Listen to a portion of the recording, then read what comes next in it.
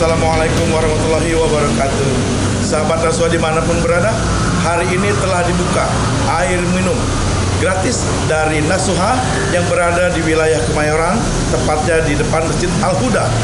Bagi para sahabat, tetangga di mana pun berada Khususnya untuk wilayah Kemayoran Bisa mengambil air minum gratis. Rasanya luar biasa nikmat. Sudah diuji di Depkes Layak untuk diminum.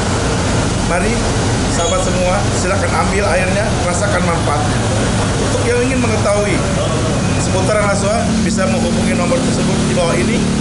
Bisa bertanya seputar masalah hutang dan bagaimana cara penyelesaiannya.